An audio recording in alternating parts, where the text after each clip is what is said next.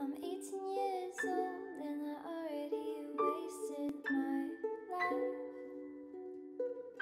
I stay inside, hide from my friends in the sunlight.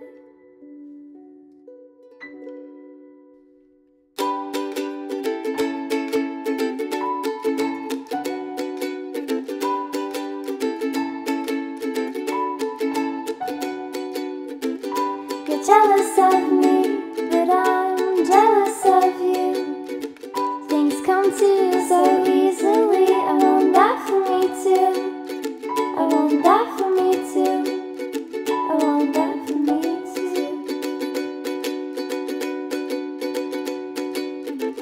If my traumatizing good damage, then what's it worth?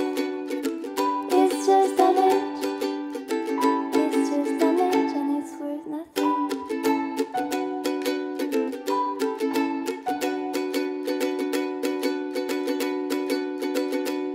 I'm not sure this feels like love, cause I've never seen it before.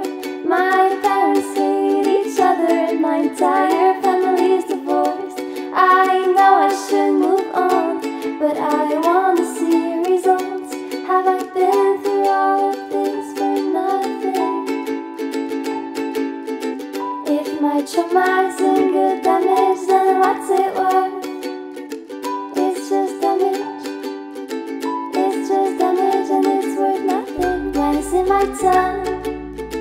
When is it my turn? When is it my turn? When is it my turn to feel okay? When is it my turn? When is it my turn? When is it my turn to feel